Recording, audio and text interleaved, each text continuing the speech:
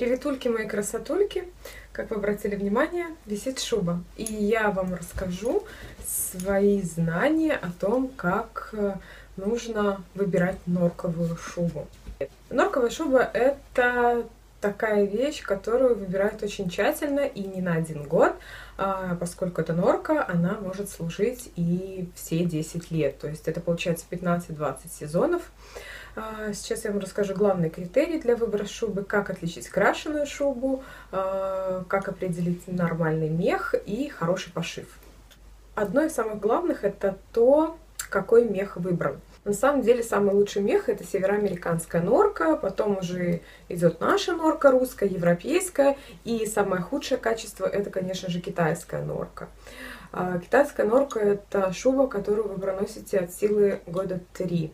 И очень много наших магазинов, даже очень фирменных, грешат э, продажей китайских шуб.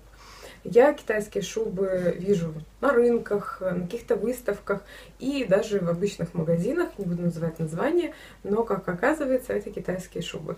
Итак, определить качество меха на самом деле очень просто. Во-первых, мех не должен издавать каких-то громких шуршащих звуков. Это должен быть практически неслышный звук. Вы можете взять а, мех и просто сжать его, либо потрясти изделие и не услышать никакого шуршания.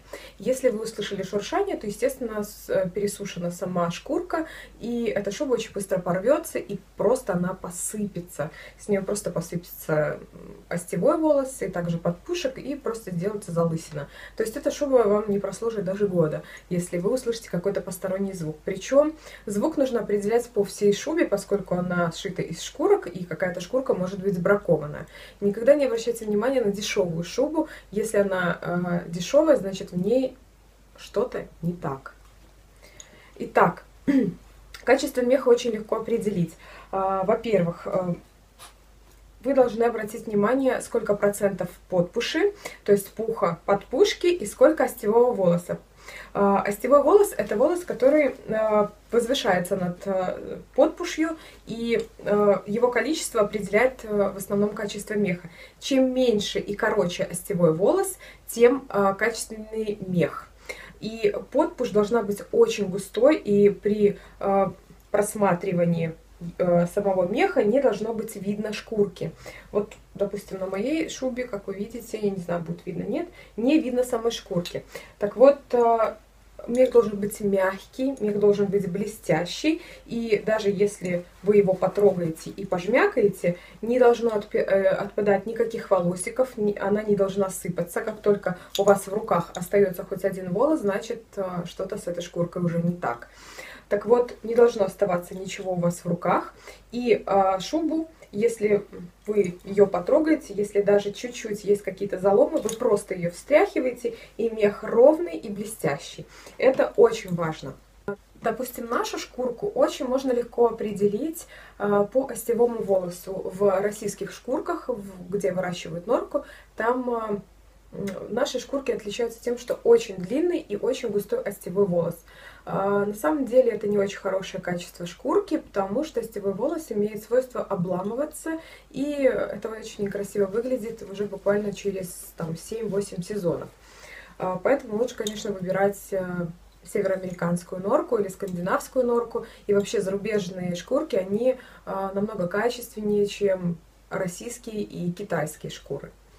Когда вы смотрите само изделие, вы должны обратить внимание а особенно обратить внимание, даже если висит бирка на шубе, вы должны посмотреть сами рукава, чтобы не было никаких залысин, потому что это может быть возвратная шуба, в нее уже ходили, и вам просто продают, э, естественно, шубу БУ. Залысины появляются здесь, на рукавах, на самих карманах, на воротнике, и очень часто, если шуба висит в шкафу без чехла, у нее появляются залысины вот здесь на плечиках. А, обязательно смотрите э, швы. Швы смотрите, во-первых, э, под мышками, потому что здесь чаще всего рвется шуба, даже когда ее меряют. А, поэтому вы должны обязательно, обязательно смотреть все швы, как прошита шуба. Очень важен подбор шкурок по цвету и по размеру. Если разложить шубу, а, то вы должны будете увидеть цельное полотно, если эта шуба не поперечная, как у меня, а просто цельная прямая классическая шуба. У... Все шкурки должны подобраны быть, особенно если это светлая шуба, а, подобраны по размеру и по цвету. Не должно быть никаких различий, это должно смотреться ровным полотном. Как же отличить крашеную норку от натуральной норки. На самом деле все очень просто. Нужно, первое, первое, что вы должны сделать, это взять изделие и просто раздвинуть подпуш и остевой волос и посмотреть. А, мездра должна быть, мездра это у нас а, кожа. Кожа должна быть белой, белой либо молочной. А, это говорит о том, что шкурка очень хорошая и не крашеная. Тем более, если она очень тихая. Если вы смотрите, окрашена ли светлая шуба, вы можете взять обычную влажную салфетку, либо белую белый платочек, смочить его водичкой и провести немножко по меху. Если не остается никакой краски на платочке либо на влажной салфетке, значит шуба не крашена. Это два таких главных критерия, чтобы определить, крашеная шуба или нет. Очень часто красят именно черные шубы, а, Black Lama, называется э, этот цвет, э, это натуральный цвет норки, но э, очень много производителей грешат тем, что они красят шкуры. Ну а теперь давайте поговорим про пошив. Про шкурки, я думаю, я все рассказала, и про цвета. Э, так давайте перейдем к пошиву. Э, очень важным критерием является то, что подклад в шубе не должен быть пришит к самой шубе, а мы можем спокойно залезть под нее и посмотреть, все-таки посмотреть, что у нас а, там внутри. А, на самом деле это очень важно, потому что вы должны видеть всю шубу целиком. То есть, допустим, свою шубу я могу вывернуть а, а, целиком и полностью и посмотреть, что там. Так вот, вы должны посмотреть все, рукава, посмотреть спину, посмотреть э, полочку, посмотреть полностью всю шубу, из каких шкурок она сделана, потому что здесь, когда вы открываете шубу, может быть э, все хорошо, а вот э, когда вы залазите дальше, то там могут быть кусочки, и э, нужно просматривать обязательно швы. Швы, э, чем отличается хорошая фабрика от плохой фабрики, и вообще хороший пошив от плохого, э, первые нитки, которыми сшивается, сшиваются шкурки, они должны быть шелковыми, стежок должен быть мелким, не должно торчать ни, ни никакого, не знаю, никакого меха, никакой подпуши, и это говорит о том, что пошив очень хороший. Так вот, и на качественных шкурках, не знаю, будет видно, на каждой шкурке должна стоять печать. Печать э, говорит о том, что действительно шкурка хорошая, и фабрика не грешит тем, что э, шьет изделия из э, плохих шкур. Так вот, допустим, если посмотреть на мою э, шубу, э, у меня цельные, цельные шкурки, и здесь у меня есть немножко розшив, но для поперечной шубы это допустимо. То есть у меня чуть-чуть есть розшив шкуры, и это, в общем-то, хорошо для меня хорошо, поскольку это поперечная, э, поперечный пошив, и у меня шуба не будет вытягиваться. Вы можете посмотреть, мех мягкий, он тянется, мездра тянется, и это говорит о том, что шуба не пересушена. Итак, очень важно это то, э, как э, прошиты швы. Швы на плечиках, швы вдоль всего изделия обязательно должно должна быть кромка. Это такая э, полосочка ткани, которая прошивается и удерживает э, изделие от вытягивания. Также пришивается на перед шубы кромка не менее 10 сантиметров, точнее не более 10 сантиметров, но и не менее 8 сантиметров. То есть э, вот здесь на запахе и также вот здесь пришивается внутри кромка ткани, это ткань, и она пришивается даже не знаю, как ее показать. А, у меня тут все просто пришито, и я чувствую, что там есть, и это очень важно, на самом деле, чтобы а, практически невозможно было до туда добраться. Так вот, у меня здесь есть кромка, и она а, составляет, вот, она заканчивается вот так. То есть это полноценные, в общем-то, 10 сантиметров. Это предотвращает от провисания изделия полностью спереди. Также обязательно важно, чтобы была полочка. Полочка пришита, это тоже кусочек ткани, а, плотный, э, должен быть пришит сзади, под воротником, чтобы не вытягивался зад. И э, обязательно должны быть плечики обработаны также кромкой, и также должны быть сами э, плечики. Они, ну, в основном они поролоновые, они у меня также есть, присутствует в этой шубе. Так что вставки в борта это а, очень важная часть. Далее а, расскажу вам, как должны а, быть сделаны карманы. Карманы, вот чем грешат фабрики, особенно греческие и итальянские фабрики, это то, что они не пришивают дополнительную полоску меха к карману. То есть, если вывернуть карман шубы европейской, да, допустим, той же самой греческой или китайской шубы, мы сразу видим подклад. А, допустим, в моей шубе мы сразу подклад не увидим, потому что у меня пришита еще полосочка меха. И это очень важно, потому что здесь вытирается. Мы очень часто засовываем руки в карманы, и, в общем-то, Здесь будет у вас вытираться, если вы выберете шубу, где сразу видно подклад даже невооруженным глазом, даже если не выворачивая его, вы просто вот выходите в изделие и видно карманы. Здесь обязательно должна быть э, пришита полосочка меха. Один из самых важнейших критериев при выборе шубы – это ее размер. Вы должны обратить внимание на то, что шуба не должна быть плотной и тесной.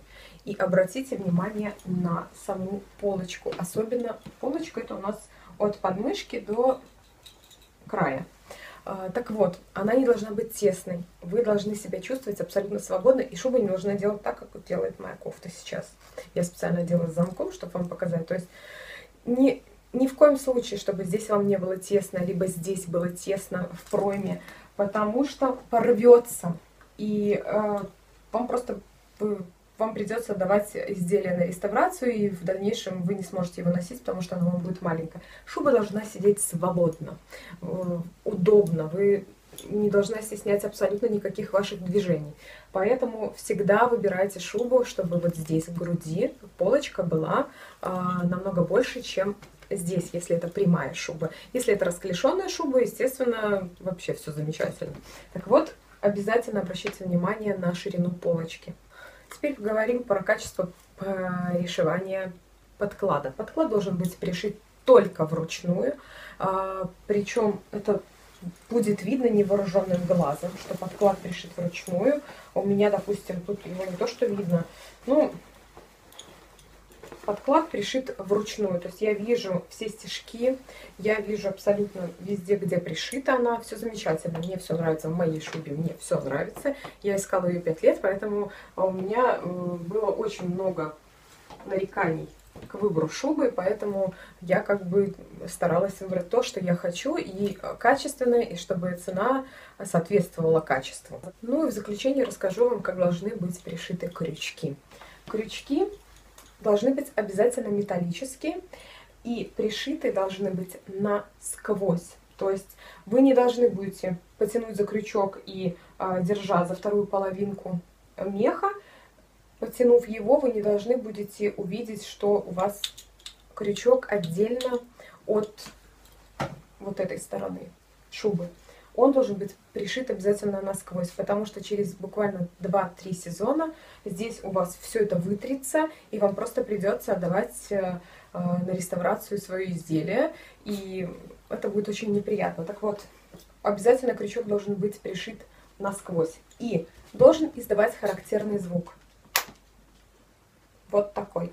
Он должен быть звонкий, громкий и э, закрываться плотно. То есть крючки должны быть обязательно все очень хорошего качества, потому что если хоть один крючок будет плохо замыкаться и не будет такого звонкого звука, считайте, что вам придется отдать, заменить этот крючок, потому что он будет всегда расстегиваться. Если вы идете выбирать изделие, а, это уже мой совет со стороны.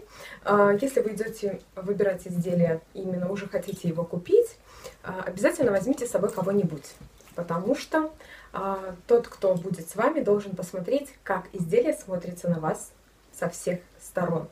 вы а, должны обратить внимание, чтобы когда вы одели изделие, во-первых, первое, что вы должны сделать, посмотрите вниз и увидеть низ изделия, чтобы он не заходил не так, не расходился вот так, и э, низ не был, был на одном уровне. То есть вы застегнули здесь крючок либо пуговицу, и э, тот, кто с вами посмотрел, ровно ли борта, одинаковы ли борта, не провисает ли зад, не провисает ли перед при том, когда вы одели э, это изделие. Обязательно нужно смотреть.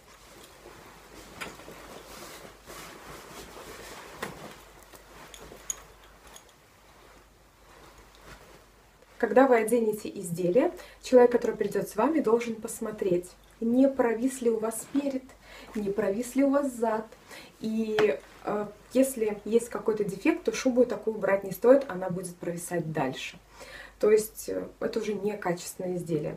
Э, я, допустим, при выборе шубы я руководствовалась своим вкусом. Во-первых, поперечная шуба, конечно же, идет любой женщине. Абсолютно любой подчеркивает ее фигуру, будь то худенькая, маленькая девочка, будь то высокая леди э, крупных форм, либо худенькая высокая девочка. Всем поперечные шубы идут. Никогда не стоит не смотреть на классические шубы. Классические шубы никогда не выйдут из моды. То есть это прямые шубы, не поперечные, а именно цельные цельные пластины. Так вот, такие шубы всегда остаются в моде, и они никогда из моды не выйдут. А, я при выборе своей шубы, потому что вы меня все спрашиваете, что мне за шуба. Так вот, у меня шуба турецкой фабрики из Стамбула. И в Стамбуле, как оказалось, очень даже хорошая шуба. А, когда я увидела эту шубу, я была, конечно, в шоке от того, что турки умеют шить и есть качественный мех в Турции. Ну, при ситуации сейчас в мире, я не знаю, будут ли возить теперь турки такие шубы. Так вот, а, я не ожидала от турков такого качества. У меня шуба трансформер. У меня отстегиваются рукава. А, и делается три четверти рукав. Сейчас я вам отстегну один и покажу, как это все смотрится. Пока отстегиваю, расскажу вам, как шьется поперечная шуба. Поперечная шуба это шкурки, разрезанные по хребту и сшитые а, как бы внахлёст. Но на самом деле шкурки стоят ровненько. Так вот, я всегда хотела себе поперечную шубу и именно цвета махагон. Вот у меня три четверти рукав. Сейчас я откасаю все. И, в общем-то, смотрится довольно-таки неплохо. Так вот, у меня цвет махагон. Махагон цвет это э, получаю такой цвет путем скрещивания черной норки и э, натуральной коричневой норки. И получается такой благородный цвет, он больше похож на соболя на самом деле. И мне именно такой цвет хотелось, я его очень долго искала. И на самом деле только качественный, э, хороший мех североамериканский может быть такого цвета. Поэтому для меня при выборе шубы было очень важно, чтобы мех был именно североамериканский, никакой не европейский, не дай бог не китайский. Сейчас я вам покажу поближе, что значит некрашенный мех. То есть, видите, подпушь, она очень-очень-очень плотная. И когда вы раздвигаете ее, сейчас я попробую раздвинуть, и вы видите белую местру. Видите? Вот, она белая, то есть шуба не крашеная, и это очень важно. Лучше купить натуральный цвет шубы, а, это может быть и светлая норка, и может быть Black Lama, Black Nafa, и также махагон. Лучше купить не крашеную, она прослужит вам намного дольше, она не будет выцветать, не будет желтеть, не будет, э, ну не знаю, никаких проблем не будет, не будет красить вашу одежду, а, поэтому лучше выбирать натуральную норку.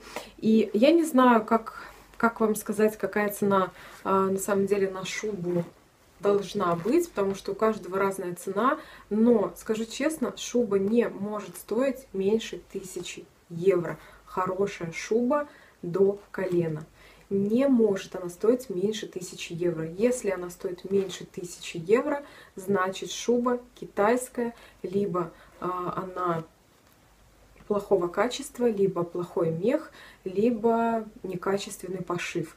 А, меньше 1000 евро не может стоить хороший мех, потому что он, а, сами шкурки стоят не дешево. И от размера изделия, конечно же, зависит и сама цена. Так что я надеюсь, я вам помогла, поэтому ставим пальчики вверх, Очень надеюсь, что вам понравилось это видео. Так что всех целую. Всем пока.